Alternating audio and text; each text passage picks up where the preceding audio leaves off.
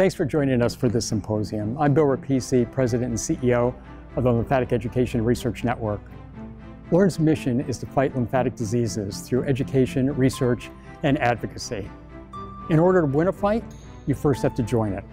So we ask, please become a supporting member of LEARN at lymphaticnetwork.org. And we hope you enjoy today's symposium. Well, good morning um, to all our um, very loyal uh, Learn friends. I thank you for joining this webinar. Uh, today's webinar actually has two topics. They're both updates of material that many of you, I hope, will have heard about in the past, but I think worth telling you what's happening. Uh, so as you see, we're going to be talking about the HEAL trial, which is my uh, clinical trial to test the first drug that we hope will be made ultimately commercially available to treat lymphedema. And we'll also uh, have an update at the end uh, regarding the LEARN's uh, Lymphatic International Registry. And there are some exciting things to tell you about that as well.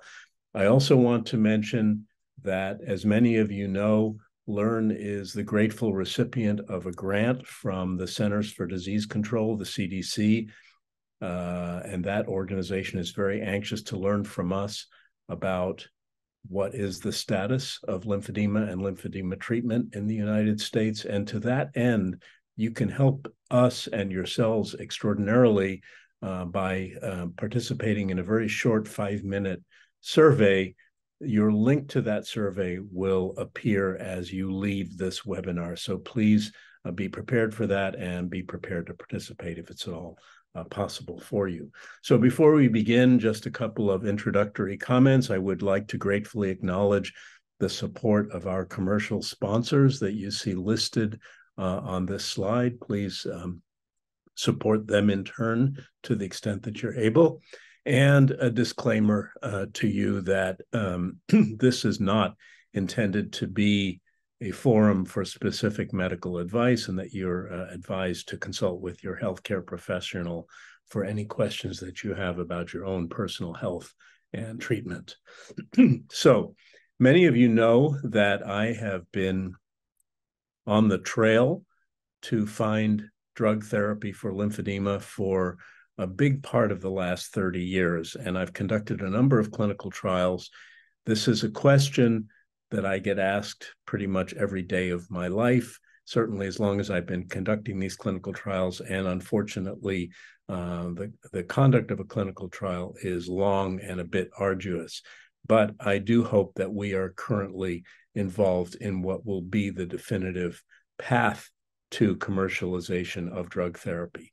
Now, just to remind those of you that have seen this slide before and those that are seeing it for the first time, how very complex it is to set up a clinical trial even before one begins. And um, you all should know that before this trial was launched in roughly August, September of 2022, um, there was about 18 months of activity that led up to the specific organization of that uh, trial. I'm very grateful to the um, sponsorship, which I uh, received uh, through a competitive granting application from the um, Innovative Medicines Accelerator Program at Stanford, and also for a corporate sponsor who is providing both funding and the drug uh, that we are testing investigationally. And this uh, company is called Celltaxis.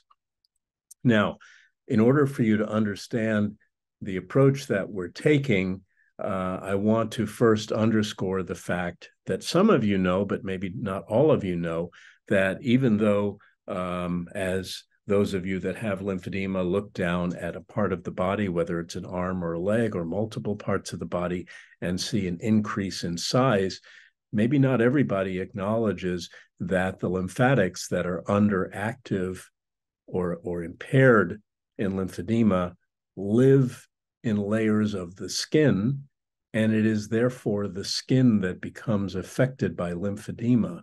So where the limb is swelling, although it looks like the entire limb is swollen, it actually is the outer layers of the limb, which is to say the skin and the subcutaneous fat that lives directly beneath the skin and is considered part of the skin. So as the lymphatics become impaired, there is accumulation of fluid. That fluid resides in the skin layer and eventually uh, encourages the skin to change its very architecture to grow in thickness and eventually what has historically been called the irreversible phase of lymphedema, in fact, is when that fluid accumulation becomes transformed into an equivalent increase in volume of the tissues themselves as the cells grow in number and size.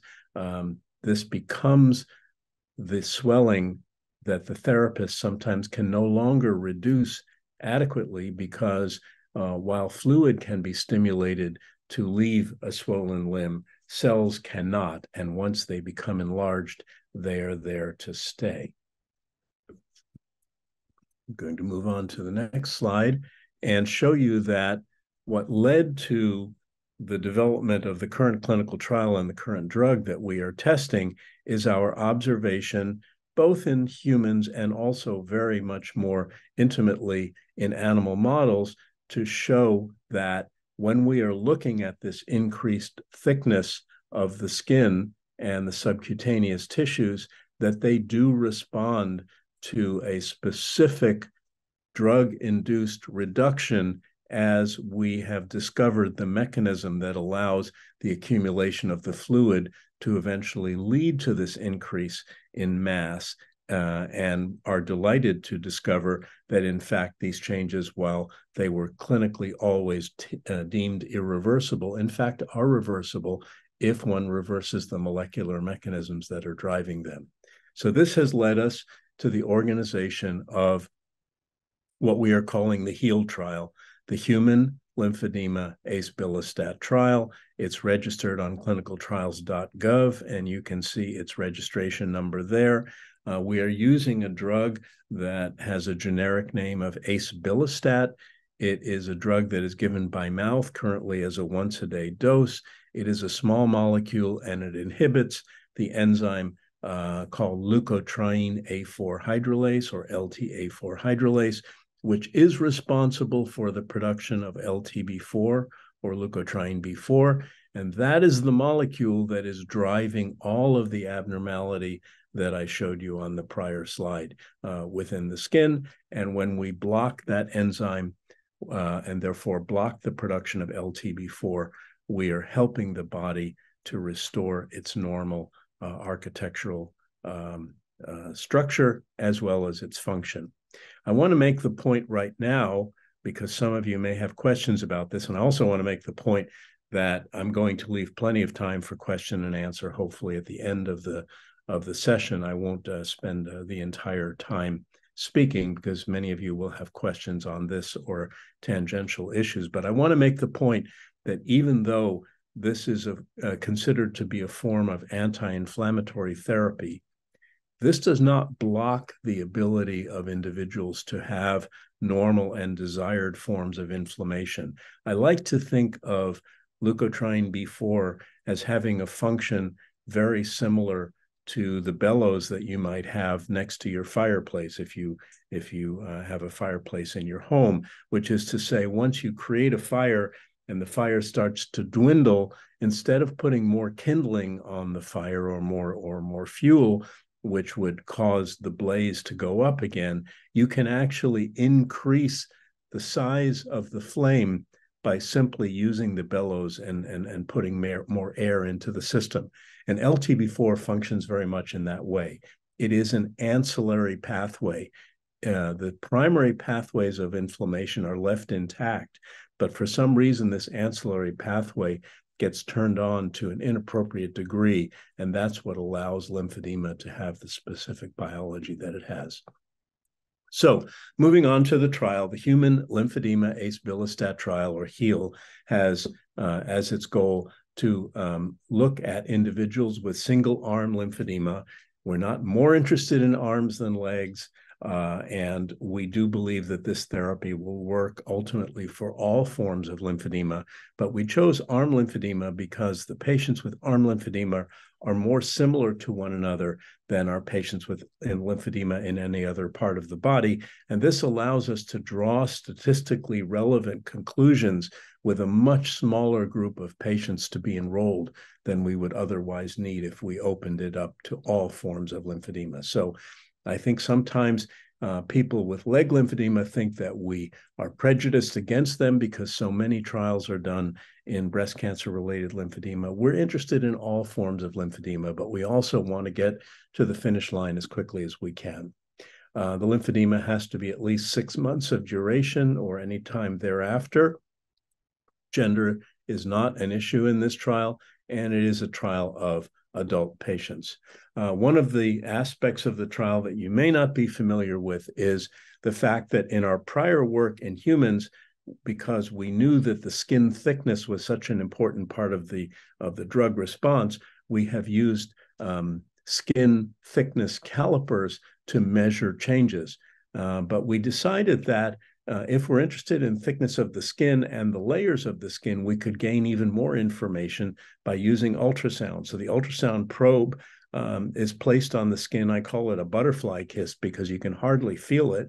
But in placing it in this way, and in very designated locations, we can actually capture images at each time that we uh, investigate uh, the subject and then make very precise quantitative measures of all of the aspects of the skin. So as you can see here, we're looking at the lymphedema arm and the normal arm, and we place the probe in three distinct locations, and we will average the, the values obtained in each of those locations on each limb. And here you can see uh, the way in which we can designate the dermis, which is the outermost layer uh, of the skin, the part of the skin that uh, gets a suntan or a sunburn when you're out in the sun uh, as as the uh, place that we can make our primary measurements. Now, um, what I need to share today is the fact that the trial itself is ongoing, and we have enrolled about a third or a little more than a third of the desired number of subjects. We hope to complete uh, the enrollment process in the trial uh, during calendar year 2024. Um, but the design of the trial is such that we're not allowed to make any objective measurements on, on any of the subjects, even though many have already completed the trial, until everybody completes the trial. So, what I'm going to talk to you about today are two ancillary subjects that I think will uh, give you some excitement about what's going on in the HEAL trial and hopefully encourage those of you that would be eligible to uh, to participate to indeed participate or if you have any friends or family members or acquaintances or anybody that you know that might be a good candidate for the HEAL trial uh, we would love uh, to have uh, those individuals included as well. However what i'm going to show you today is some of the power that is inherent in this dermal ultrasound approach that we have employed in this trial. This is the first time that I think this has been done in such an acutely quantitative way. And I'm going to stick my neck out and say that this is going to become a diagnostic and surveillance tool for the future that will, uh, in many ways, replace the more invasive kind of imaging that we currently do for lymphedema. I'm quite, quite excited about this. But I want to share with you uh, some analysis we did in the first 25 subjects um, that we looked at where we are able to look at the baseline images that we acquire before we do anything to the patient in the way of um, giving them medication, uh, just to see what we can learn from these baseline uh, images. So we got the ultrasound images in the lymphedema arm and the normal arm uh, with identical ultrasound settings. Um, and we eventually looked at these baseline images in a random order, and a radiologist uh, quantified them and what did not know anything about the individual subject. So he's simply looking at uh, the acquired images, and then we did an appropriate statistical analysis. So this will show you what we are actually looking at with these ultrasounds. Um, and so uh, what you what your eye will show you immediately, and I'll share some numbers with you in a moment, is that On the upper panel, we're looking at the lymphedema arm, and the square in white that you see is uh, showing you uh, what the skin layer itself looks like. And then the line that you see that is labeled ST is, uh, is the subcutaneous fat. So it should become immediately apparent to your eye that both the dermis, or the skin, I should say, uh, what's in the square, as well as the subcutaneous fat is rather substantially increased in size in the lymphedema arm compared to the normal arm of the same subject, which is what you're looking at here. So as we look at various aspects that we can measure within the skin itself, we can look at the overall thickness of the dermis, which is the, the layer of the skin immediately beneath the dead cells that get shed every day from the outer surface of your skin. We can look at the epidermis, which is that layer of dead cells, and we can look at various sublayers of the dermis itself. And you can see that in each case, whether we're looking at the total dermal thickness, the total epidermal thickness, or each of the layers of the dermis, uh, those asterisks that you see uh, above um, the connecting lines show that these differences are quite statistically significant, all of them. And three out of the four are highly significantly different. So it's quite clear that lymphedema causes these measurements to increase in an intra-subject comparison with the normal arm, and these um, changes are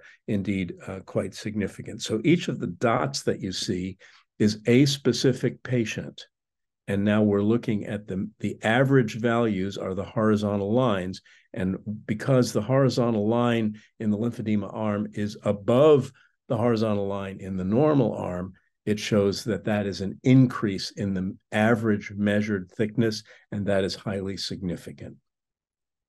So um, the same thing is true of the subcutaneous thickness, which again, as we've said, is predominantly uh, fat. Those of you that are aware of this know that one of the surgical treatments for lymphedema, for later stage lymphedema, is to go in surgically and actually remove that subcutaneous fat by liposuction. But here you can see evidence of the degree to which that layer is increased. And again, it is uh, statistically significant comparing uh, to the normal side.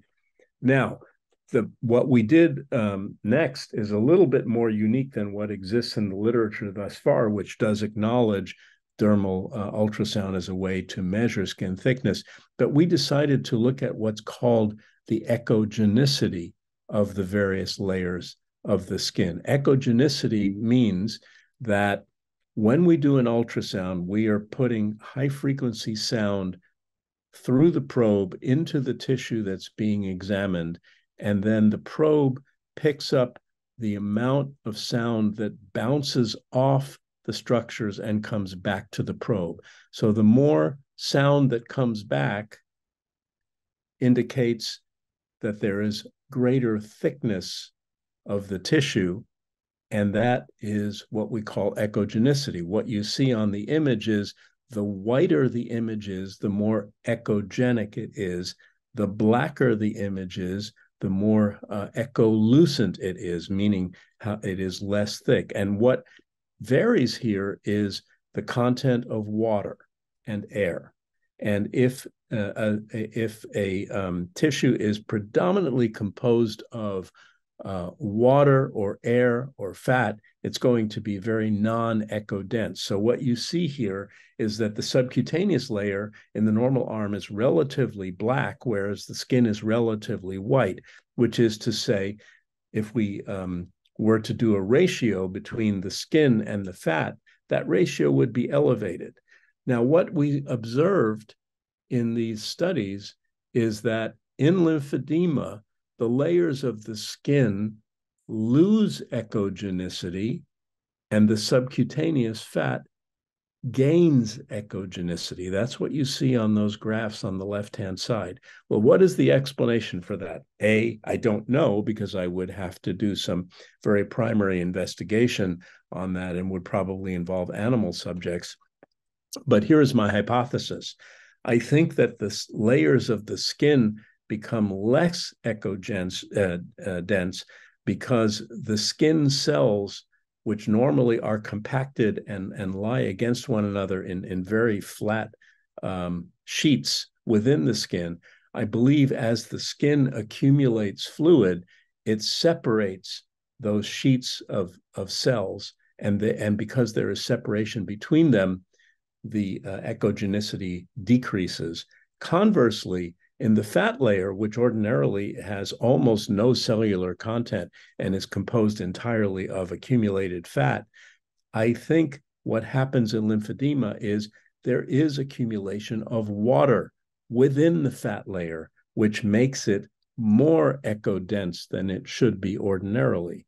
So each of the two layers move in an opposite direction because of the accumulation of water, which would mean, ideally, that if our treatment were successful, we would encourage um, the changes to move in the appropriate normal direction to separate back from one another again. So here's an example of exactly that relationship. We are looking at the ratio of echogenicity within the skin or the dermis to the echogenicity in the fat layer or the subcutaneous layer. And what you'll see is that on the left-hand panel, that ratio begins to decline toward one when lymphedema is present when in comparison to the paired normal arm, where the number is quite a bit higher. The average is about two and a half.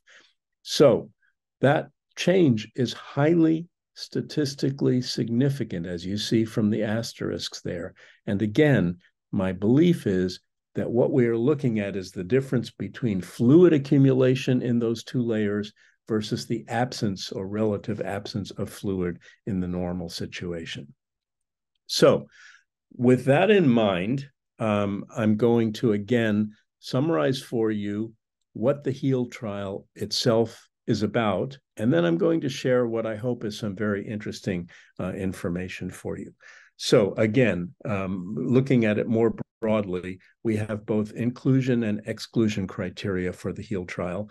Um, so this is a study of single-sided stage two chronic lymphedema of an arm with a duration of at least six months. If somebody has had surgical intervention for that lymphedema, we need at least one year to have elapsed prior to screening, and we need to have evidence that there is still substantial involvement uh, with uh, the lymphedema. Uh, and of course, the patient needs to be able to sign the informed consent document. Um, we need patients to have completed their physical therapy at least two months prior to the screening visit. And we hope that the patients will maintain all treatment strategies that are in place at the time of enrollment throughout the uh, period of observation, which is nine months. Uh, we are not enrolling anybody who is planning surgical intervention before the uh, end of the of, of, the trial period. And we are excluding individuals who have other reasons to have uh, swelling of a limb. Uh, pregnant and nursing participants are excluded. Now um, as i shared with you already i can't tell you anything about what's happening uh, to these subjects within the HEAL trial, except that I can tell you that our enrolled subjects are very happy with their responses during the trial. But in terms of objective documentation, that will have to wait until uh, we uh, until we uh, complete the trial. However, what is, what I can share with you and what is very good news is that because of the promise of this therapy, the FDA has allowed me to establish an expanded access program at Stanford for patients who are not uh, able to participate in the main trial. So these are patients predominantly with leg lymphedema. Uh, patients with cancer related lymphedema are not allowed to participate, unfortunately. So these are predominantly individuals who have leg lymphedema from other causes who are able to take the study drug in a non study context. We are giving it clinically, but of course, we're allowed to follow the patients clinically and therefore can make very similar measurements as we track their response uh, uh, to the drug. I'm also able to announce with great uh, pride that we are about to launch a similar expanded access program uh, for lipedema. um, we are excited about the prospect of this drug in lipedema because of the changes that we are seeing not only in the skin but also in the subcutaneous fat layer, which makes us think that lipedema would also be an ideal potential candidate for the drug. So, what I'm going to share with you are the measurements that we were able to take at three months after exposure to the drug in our first five participants. So this is very early data. By this point, um, although I haven't analyzed everything yet, we've actually completed six months of treatment um, in um, in close to 12 patients, and we're hoping to expose these subjects to acebilustat for at least a year in order to see what their optimal response is. But what we are seeing among the first five patients is that uh, limb volume uh, pretty uniformly declines, even at a very early time point when we don't really expect to have much in the way of drug response yet. Uh, and you can see that the percent change uh, in limb volume is is is rather substantial. These are small numbers, so we have not attained statistical significance yet. But where we have attained statistical significance is by that older measure that I shared with you of measuring the skin thickness with a caliper. And here you can see that pretty uniformly skin thickness is becoming statistically significantly reduced in all subjects as early as three months after exposure to ace Um, and I should share with you that in my earlier work with ketoprofen, we actually saw that it typically took at least six months of drug exposure to be able to measure much of anything in the way of a significant change. So this is more robust than what we have previously experienced with older drugs.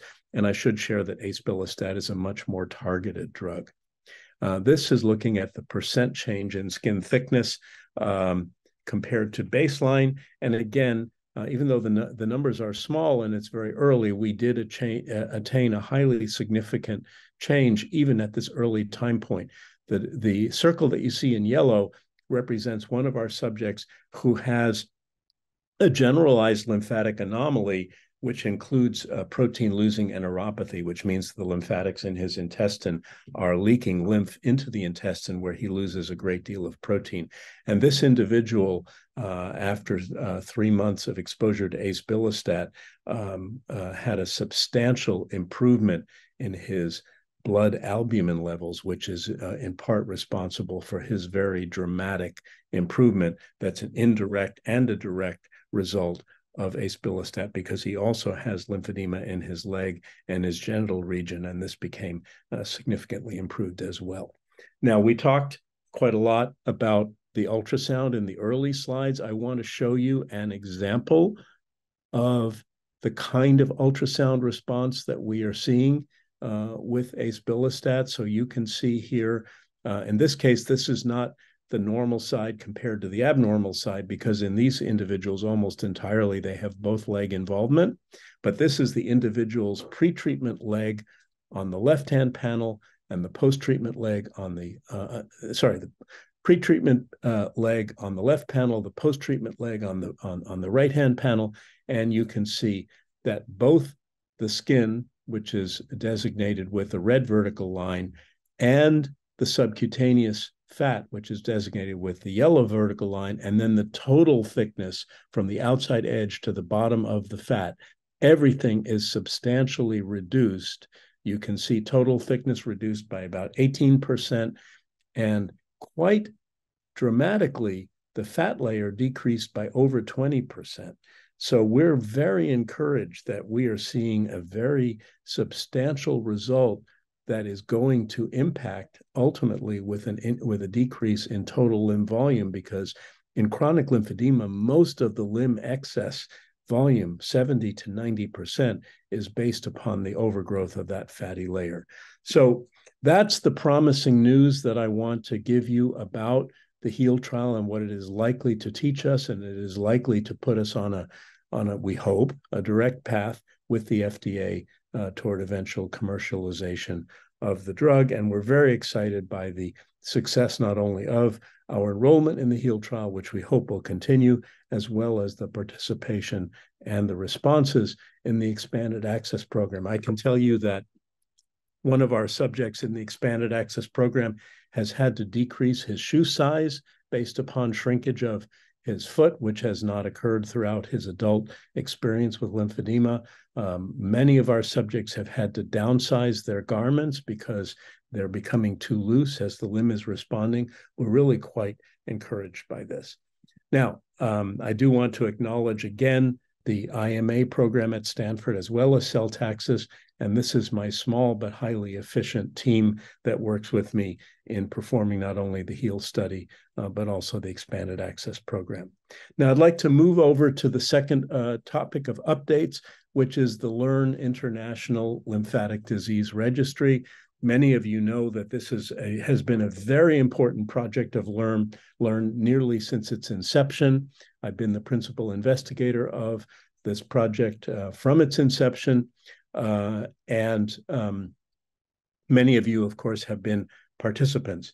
The update that I have for you is to tell you that um, there has been a major overhaul of the registry. Many of you will have seen, or if you go to the Learn website, you will currently see this landing page for the registry that will take you to the site where you can actually register and become a participant. Um, we have decided to move the IT platform where the data uh, resides. Uh, and in so doing, we decided to do a major overhaul of the platform itself. One of the um, strengths of the registry has been the fact that we are very exhaustive in the intake of data so that all of the data that we could ever potentially want to make available to uh, researchers will be available to them. The drawback is that um, because we have been very universal in approaching lymphatic disease, many of the questions that we ask are relevant to specific segments of the disease of, of the subject population and not to others, which means that there is wading through an extraordinary amount of material to get all of your personal data into the registry. We have redesigned things, as I'll show you in a moment. But before I do that, I want to underscore the importance of the registry. The registry was created primarily because we believe that lymphatic investigators all over the world need access to this data, and we wanted to create a platform and a resource for the investigative community. This will become available to anybody in the world who has a valid reason to look at de-identified subject data regarding lymphatic disease in order to conduct meaningful lymphatic research.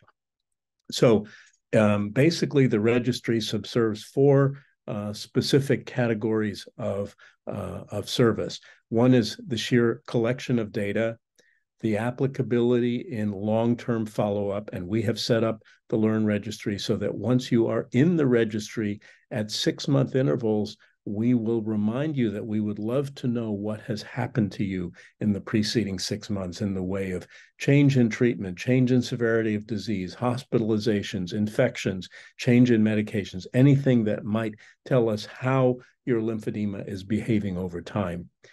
This is also real world evidence. The kind of study that I just shared with you, the HEAL trial, gives us very important information, but it's a very controlled environment. And we know uh, in medicine in general that there is a big difference between what happens in a clinical trial and what happens in the real world. And in the registry, we're looking at real world data. And as we get more and better treatment strategies for lymphedema, we will be able to do post marketing surveillance. One, one element that I haven't listed here, but I think is equally important, is for us to entice the commercial realm to be interested in lymphatic disease, they have to know something about how many of us are out there and what is the um, the fingerprint or the photograph of the lymphatic disease community so that they know what, how interested they might be in developing new products. So here's what we have done with the registry. We have always believed that um, and I, I call myself a lumper because I don't want specifically to split diseases apart and say, I'm only interested in secondary lymphedema, or I'm only interested in primary lymphedema, or I'm only interested in lipedema, or I'm only interested in vascular anomalies. I believe that these diseases are linked to one another because they all affect the lymphatics. And we can learn not only from those elements that are specific to subsets of these diseases, but these diseases can help to teach one another about the commonalities or where the differences are important. Therefore, it's important to have a repository where all of the information is present. And so we have created the lymphatic disease registry to em embrace all of these categories. As I said, the problem historically was you had to wade through the questions that were relevant to having these four broad categories, no matter what category your personal uh, entity resided in. We've changed that now. What will happen for those of you that become new participants is that when you enter the registry site, there will be a demographic intake. So we, we know how to contact you, we know who you are, we have your informed consent, and we have a few pieces of vital information about you that are not specifically related to your disease. At that point, you will be funneled into a pathway that is relevant to your specific disease, and all of the information that is collected and all the questions that are asked will be relevant uh, only to your specific uh, disease. And at the back end, uh, all of the questions that are universal can be asked at the very end. This makes it a much streamlined experience, and we hope one that is much more pleasant for anybody who will do it for the first time. Uh, for those of you that have been in the registry uh, already, uh, we have not abandoned you. Your information is still there. Uh, there will be a bit of an up, update uh, process once you go into the new site, but everything will be intact and you can move forward with your uh, semi-annual updates. Now, the, the, the registry that we have been redesigned is in beta testing phase, and I believe it's just a matter of a few weeks before it will be unveiled to the public. I'm happy to say that the uh, existing registry has already been utilized in some of my research uh, for uh, the CDC, and the manuscript um, that we have written about that work is in editing form and is about to be submitted. So this will be the first publication in the medical literature that will specifically cite the International uh, Learn uh, Lymphatic Disease Registry. And I hope it is the first of many, many, many. And I hope that our work will encourage other investigators to apply to utilize the data that we have uh, present. The registry will go live, as I said, within a matter of a few weeks. And at that point, um, the link will be live on the Learn website. So please keep looking there. And I do encourage all of you to participate uh, as soon as it is feasible to do so. I'd like to end by saying that this is my view of how a registry like this is important and how it is important to you. There are things that matter and there are things that you can control. And what you should focus on is the intersection between those two. And I believe the registry falls squarely within that black area between those two circles. So focus on it and help us to help you by encasing your information in a forum in which uh, it can help everyone. So with that, I'm going to say uh, thanks for your attention. I'm going to stop sharing my uh, screen here so that we can go directly to uh, the time remaining for uh, question and answer. So let me see how I've got some questions here in the Q&A section, and I'll encourage you to continue to submit them, and I'll do my best to answer them. Um, so uh, the question, the first question I see here, and I'm reading them live, so I have to see what what they even ask. Um, there's somebody who's asking from Toronto, Canada, uh, when the trial is complete, uh, will Canadian doctors have access to this drug? The answer is um, step one will be for the US FDA to approve it. I believe um, the majority, if not all, FDA approved drugs in the United States become available quickly in Canada and in many places around the world. So the answer would be yes, but I don't know what the time lag will be. Um, I'm asked if any of the over-the-counter supplements help. Uh, there are many leg and vein supplements out there.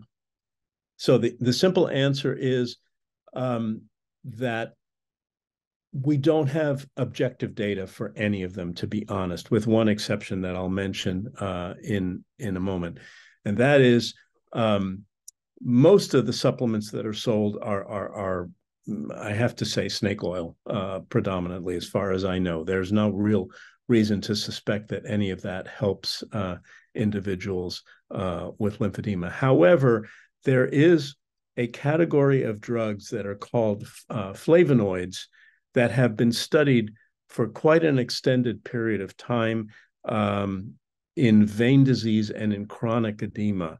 And the ones that I typically recommend for whatever spillover effect they might have in the chronic edema of lymphedema would be uh, diosmin hesperidin uh, would be the number one candidate. The second one would be um, grape seed extract. And the third one um, would be horse chestnut seed extract. These are all drugs for which objective data exists in the literature and certainly can be considered. I do have to say that in lymphedema, if there's any impact at all, it's going to be very, very modest. But those are things that can be purchased over the counter. Um, now, somebody is asking uh, to define the treatment program for the uh, uh, patients in the trial, whether this is uh, remove only removing fluid or is it allowing the lymphatics to heal. Um, the answer is what we learned in the animal model is yes, it does encourage lymphatic healing. And we see uh, fairly dramatic evidence of that in animal models. If that is truly the case in humans as well, we, we will have to see if it stands the test of time. But this is not simply a fluid removal uh, program. It is actually encouraging the tissues to remodel themselves, and that includes the lymphatics as well. Uh, somebody asked about side effects of the drug, if any. We're very gratified that the side effect potential of this drug is really low. Now, that we have to say that the drug, which has been used in three or four clinical trials thus far, has only been utilized in uh, perhaps 500 human subjects in history. That's a very small number compared to anything that you can buy in the drugstore. But most of the side effect potential is very modest. It's very um, exquisitely reversible. There's no major um, skeleton in the closet that we need to uh, worry about. Uh, we do acknowledge that the drug is metabolized by the liver. So we're very mindful of other drugs that can interact with it and can cause levels to become too high. And that's something we monitor very closely. Some of you that take statin drugs, for example, know that you're not supposed to eat very much grapefruit because grapefruit interacts with the statin um, uh, metabolism uh, process within the liver. It's something similar to that. So no, it does not involve grapefruit, but it involves other drug uh, potential interactions. Um, why are patients with cancer related lymphedema not allowed in this trial? I'm sorry if you misunderstood. The patients in the trial are predominantly can they don't have to be but they are predominantly and at this point exclusively cancer related the FDA does not want us to use the drug in expanded access in cancer patients until the trial is completed. So the leg patients that are in the expanded access program are non-cancer related lymphedema. The patients in the HEAL trial are at the moment exclusively cancer related, but are allowed to be non cancer related if there were a patient who had, for example, a post traumatic unilateral arm lymphedema that would qualify for the trial. They could be in the trial, but um, we are studying cancer patients at the moment. In chronic lymphedema, um, do I feel that the drug will be a lifetime requirement or less? I'm not prepared to answer that question objectively yet. Uh, what I can tell you is the following. As I mentioned a moment ago, uh, we do know that uh, the drug encourages lymphatic healing. So it would be reasonable to presuppose that the drug could, in fact, be given for a period of time to attain a maximal effect and then withdrawn. I have some experience like that with ketoprofen. Many of you know that I studied ketoprofen along the path to um, using this drug and, and identifying this drug.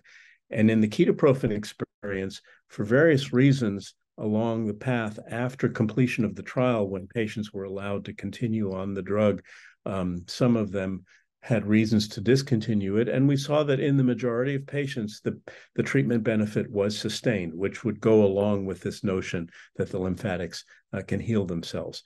Um, and um, basically, um, one of the promises that I see with what we're um, experiencing right now is that once we show that acebilustat can actually reverse established lymphedema, I believe there will be a path to use it preemptively in high risk individuals to prevent the appearance of lymphedema. That is to say, for example, in a breast cancer survivor, if we had certain biomarkers or findings on ultrasound or bioimpedance or whatever it might be, uh, if we began giving acebilustat in that treat in that phase during which the lymphatics have been damaged but have not created lymphedema, if we can encourage lymphatic regeneration at that point, we likely could prevent the development of lymphedema in that in that patient group and i'm hoping that that's going to be a very promising use of it. Somebody asked uh, how to get involved in the expanded access trial. Uh, it is um, basically uh, if you think you are a candidate and you have the ability to come to Palo Alto, California at three month intervals over the course of a year, and there's no reimbursement for that. That's that has to be um, uh, self pay. The and your insurance company allows you to come to Stanford Healthcare for clinical care. Then we can consider you.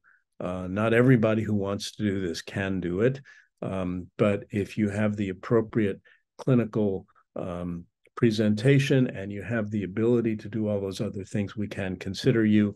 Um, and uh, I'm going to put uh, the the email address of my coordinator for this uh, uh program, uh, and you can email him with the specifics of your situation, and he can help you uh, to understand how to go about um, getting in the queue. We we already have a queue of people that are uh, trying to come. It's very labor intensive uh, to do this. And of course, um, uh, you know, we can only accommodate so many patients per week and per month. Um, but it, it is our uh, goal to enroll, uh, we believe, 30 individuals in this particular uh, program. Are there any plans to extend the trials to Europe? Not at the moment. I would say it is very likely that European trials will will need to wait for um, some uh, US FDA approval before we start expanding internationally. Um, somebody is asking if acebilustat has uh, stresses on the kidney. No, it is not cleared by the kidney. It's cleared by the liver. Um, so um, somebody wants to know the the the reasoning uh, behind excluding cancer patients from uh, from the expanded access? Well, a it's the FDA's decision, not mine, and so I can't tell you entirely what goes into their thinking because they don't have to justify their thinking. To me, I'm gracious enough that I'm, I'm grateful enough that they allow me to do this. But I believe the thinking is that they want more concrete safety data from the formal trial because the expanded access is not a trial it is using an investigational drug in clinical care. And even though we are collecting data, we're not, we don't have the same formality of safety uh, trial data collection as we do in the HEAL trial. And cancer patients, of course, are quite complex. Even if they are full survivors and the cancer is behind them, the FDA wants to know that they're being adequately treated. So they will be included in future iterations of clinical uh, trial work related to this drug, but they cannot be part of the expanded access based upon what the FDA has told us they will allow us to do. Uh, somebody asked about side effects of the drug uh, noted. Uh, I've already talked about that. I'm not going to go into more detail idea on that. Uh, um, and again, the question about cancer, everything is based on um, the availability of um, this data to allow us to move forward. Um, a question about the registry, including imaging data. Yes, we have imaging data by report. We don't have the imaging in the the registry itself, but certainly um, if it were desired, uh, presumably imaging could be uh, culled out of the registry. Um, okay. Um, Will parameters for safety be different once drug is released as opposed to during study period? I can't answer that. The FDA will certainly determine that, and some of that may be modified in in in post release surveillance as well. So, uh, in theory, this looks like a very safe drug with a very low side effect profile. I imagine that the most of the safety surveillance will be related to uh, watching liver function to be certain that the drug is adequately tolerated. The remainder is uh, to be seen as we go forward. Um, so, uh, question about the length of acebilustat treatment. I believe, based on what I'm seeing right now, that because of the robustness with which the subcutaneous fat is is um, being apparently resorbed with treatment, I believe that that's going to be a time dependent phenomenon that is longer even than the six to twelve months that we in, originally envisioned for observing these uh, drugs in, in in clinical investigation. So my sense will be.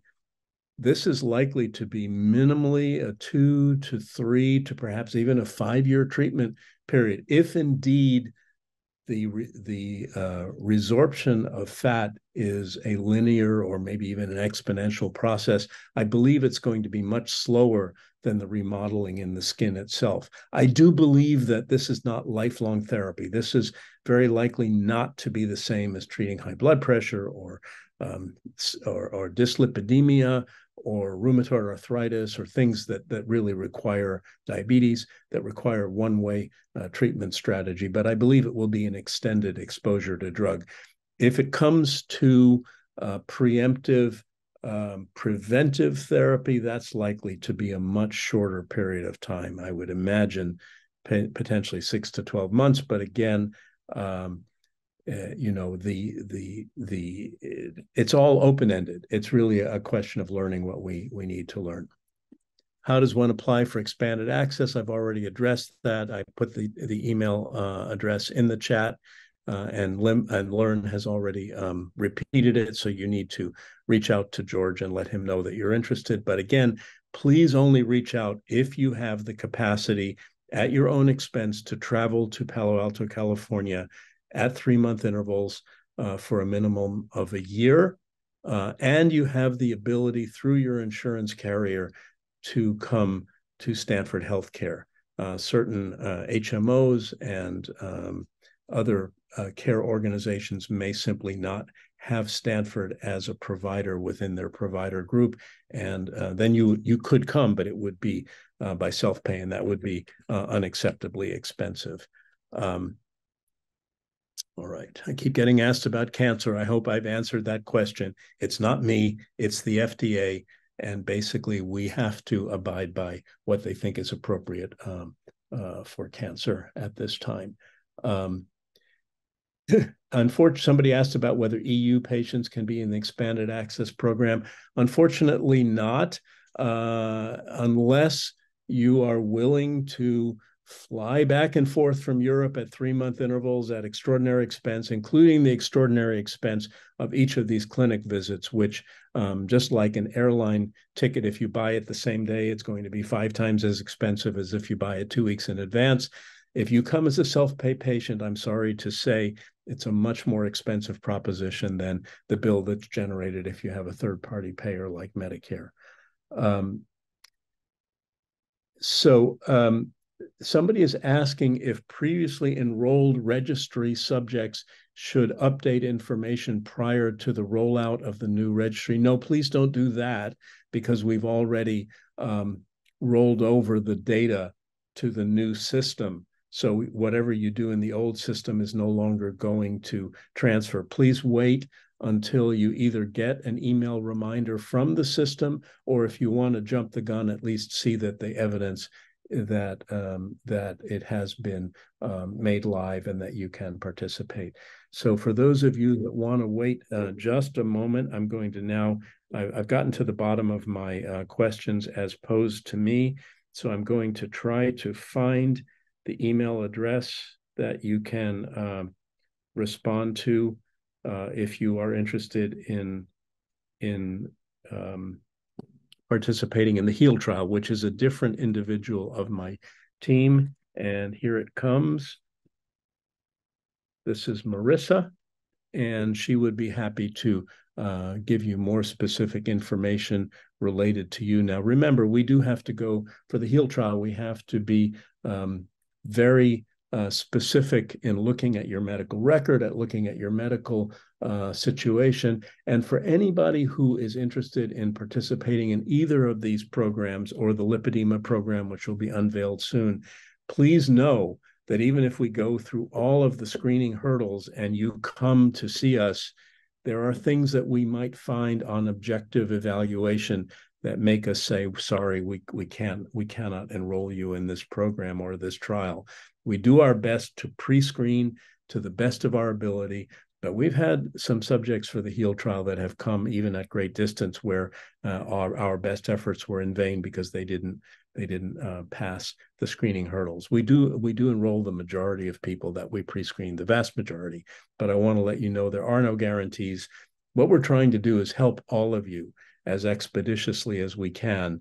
But uh, between third-party payers and the health system in which I work and the FDA and everything that uh, goes around a clinical trial, there are limits to what we can do, at least for now. And we're hoping that whatever we can't do today, we will be able to do tomorrow. So please remember to fill out that survey that will appear as you exit uh, this program. I want to uh, express my profound gratitude again for everybody taking time to listen to this. And please know that there's a lot of hope on the horizon. I firmly believe that. We're very excited by what we see and what we're learning. And we do hope that our work continues in this direction unimpeded and that soon you'll be able to go to Walgreens or CVS or Duane Reade or wherever you buy your medications and be able to buy something that will help your personal situation without having to get on a plane or enroll in a trial or do anything other than any other patient with a chronic disease is able to do to make that disease uh, come under control through modern medicine. So thanks very much for your attention and uh, we'll see one another on the next opportunity. Bye bye now.